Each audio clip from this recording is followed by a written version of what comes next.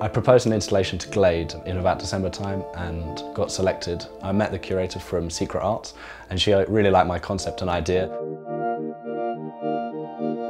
During the day I work as a lighting designer for Sutton Vane Associates, uh, working on large-scale museums, galleries, through to big landscapes and other things. What I do after hours is a kind of exploration into unknown pleasures and undecided futures, exploring light, architecture and space. I think installation art is very important in this day and age, especially with the way that everything we're experiencing is a screen.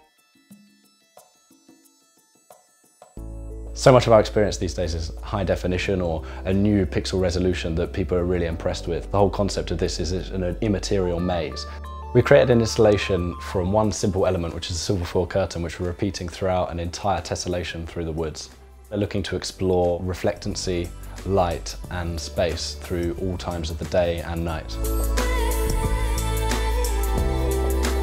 The whole installation is a kind of synthetic experience. It's slightly psychedelic that fits with new electronic music and explorations into digital culture. All the light that people will experience is reflected, shone or taken from something else.